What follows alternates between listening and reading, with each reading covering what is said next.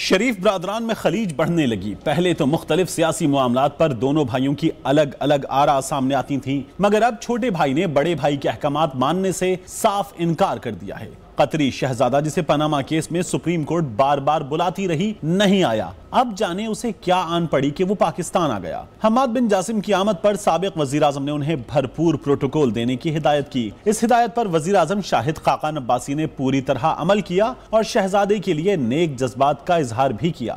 قطری شہزادہ لاہور پہنچا تو وزیر اعلیٰ شہباز شریف نے انتظامیہ کو زبانی حکم دیا کہ شہزادہ حمد بن جاسم کو سرکاری پروٹوکول نہ دیا جائے اور نہ ہی سرکاری افسر اس کے استقبال کے لیے جائیں۔ پھر یوں ہوا کہ قطری شہزادے کی گاڑی لاہور کے ٹریفک میں پھنسی رہی، مگر کسی نے ہٹو بچوں کی صدائیں بلند نہیں کی قطری شہزادے کو پروٹوکول دینے کے معاملے پر بڑے اور چھوٹے میاں میں اختلافات ایک بار پھر کھل کر سامنے آ گئے ہیں۔ سیاسی مبصرین کا کہنا ہے کہ دونوں بھائیوں میں اختلافات اسی طرح بڑھتے رہے تو عام انتخابات نے نون لیگ بڑی مشکل سے دوچار ہو سکتی ہے۔